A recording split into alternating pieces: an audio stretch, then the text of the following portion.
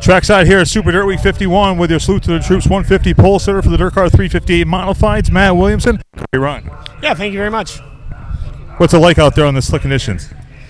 It's good. Um, I like slippery racetracks. Obviously, you know it's like where you run better at. But um, yeah, I, I, don't know what the track's gonna do when we go to race on it. It's uh, they've done a nice job putting it down. It's it's pretty smooth, not breaking up. But um, know. It's uh, obviously with the weather coming in, and um, you know they're trying to rush everything along. They're gonna they're they're in for a task that I wouldn't want to be in for. So, but he, he's a very smart person, so I think he'll he'll have it right. But um, we're gonna have to stay on top of it as a driver.